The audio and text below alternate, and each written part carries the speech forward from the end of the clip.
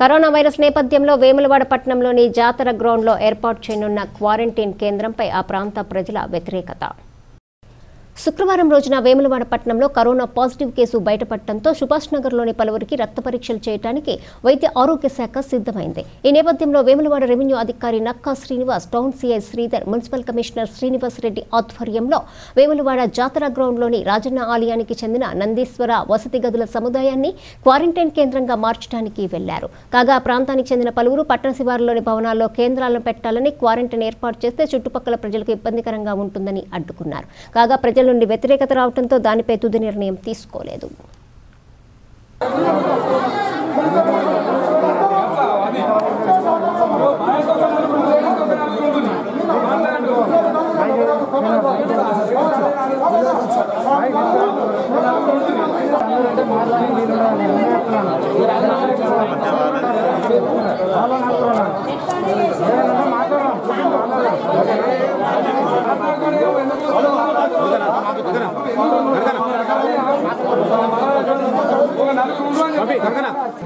లాడ్జులు ఇప్పుడు నడవాయి లాడ్జులు క్లోజ్ ఆ లాడ్జులు ఓపెన్ చేయబడదు క్లోజ్ చేయండి అయింది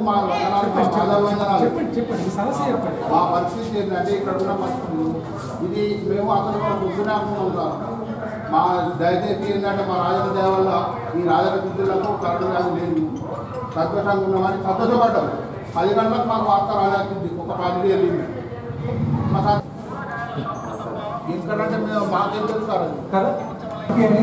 హాస్టల్ వాటిలో ఇట్లా వేస్తే అందరూ ఒకటే రూమ్లో ఉంటే మళ్ళీ వేరే వచ్చే వాళ్ళకు వాళ్ళ మీటింగ్ వస్తుంది కాబట్టి అట్లాంటి వసతి గృహాలు పనిచేయదు గైడ్ లైన్స్ దీంట్లో ఒకవేళ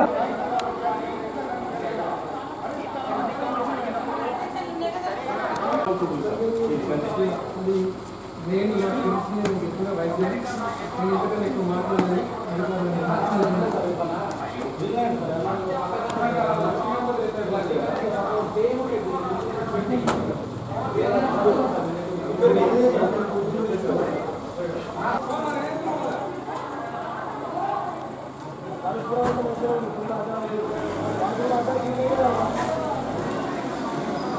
మేము లేని వాళ్ళం గరీబ్ వాళ్ళం కదా. మా బాధ్యత కూడా మీరు ఆలోచించాలి. మాకేమన్నా అయితే మీరు పట్టించుకుంటా అంటే అన్ని మీదే బాధ్యత అంటే మేము పక్కా జరుగుతాం. మేము కూడా లేని వాళ్ళమే ఇలా చిన్న పూట మా- మాకు ఇబ్బంది ఏం లేదు. మేము తిందామంటే తిండికి లేవు. ఒక బియ్యం ఇస్తే మేము ఏం తింటాం అనుకున్నారు ఇప్పుడు కరోనా వచ్చినాక లక్షల లక్షలు ఎవడు పెట్టాలి అవునా కదా? చెప్పండి మీరే. ఏం కాదు. ఇప్పుడు వాళ్ళు వస్తున్నారు అంటే మాకు ఇబ్బంది అవుతుంది అని మేము అంటున్నాం? వద్దంటున్నాం. కంపల్సరీ వద్దు మాకు.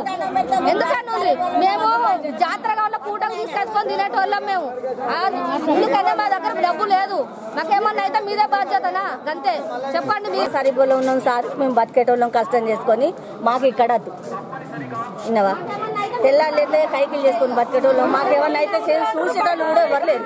పెంచేటోళ్ళు కూడా మాకు ఎవరు లేరు పంచు విన్నవా? కానీ ఇక్కడ మాత్రం వద్దు దండం పెట్టాం